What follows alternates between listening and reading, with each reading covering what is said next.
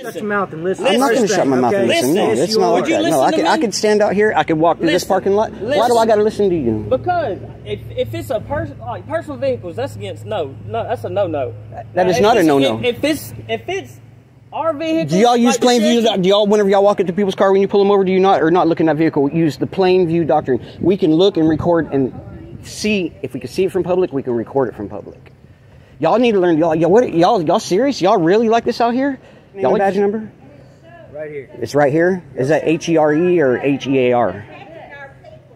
Right here. You said here. You know, I'm trying to spell out the different ones. You know what I mean? What's your badge number? 20. Twenty. And what's your name and badge number? My name's Cole and it's Walthall Four. Yours? Yours. Daily, and it's Walthall 107. That's great. And can I go and get your name and badge number?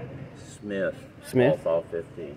All right. I've already met you. Well, you've already met me. Yeah, smoking in a, a city car. You know, that's not the great.